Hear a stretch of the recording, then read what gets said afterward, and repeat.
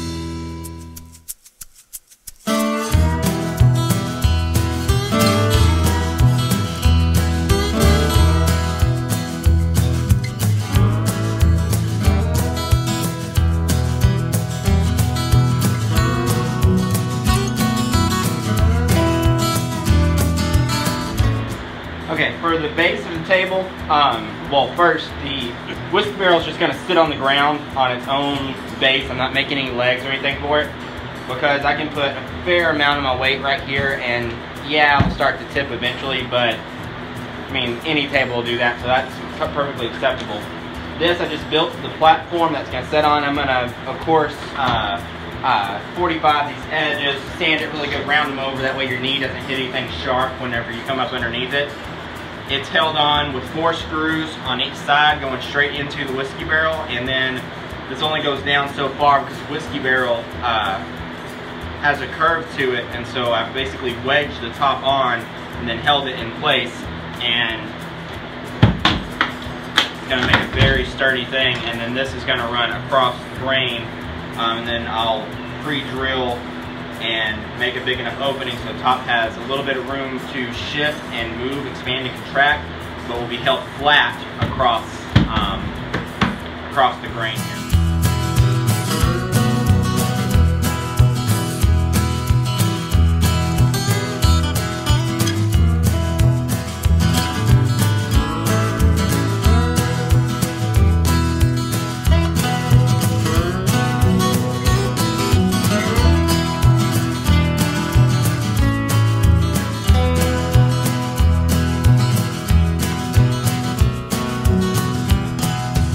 Work surface I had was the floor my shop, so I cleaned it up to get this um, set up.